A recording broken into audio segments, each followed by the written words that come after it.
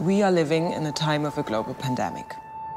Oil and electricity prices are soaring, and the climate crisis is threatening our very existence. Meanwhile, billionaires are flying into space in rockets shaped like male genitalia. For us, this raised some very important questions. Shouldn't space be for everyone? And is a phallic-shaped rocket really the best way of getting there? We want to restore gender equality to the cosmos, so we've decided to revolutionize space travel forever. Introducing the Vulva Spaceship.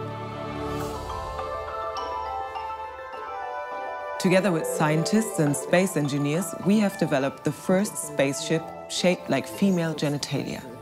Tests in our wind tunnel have revealed that our unique vulva design is far more effective than traditional rockets. The shape is surprisingly aerodynamic, creating way less drag when the vehicle punches through the atmosphere.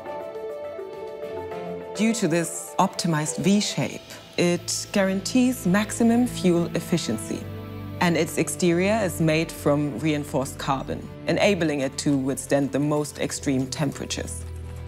We believe this proves beyond doubt that it is indeed possible to have other symbols flying through space. We aim to lobby the European Space Agency, encouraging them to help realize this project. To do this, we need 500,000 signatures pledging support for our cause. Please sign the petition and share the project so we can show the world that female empowerment has a place in space.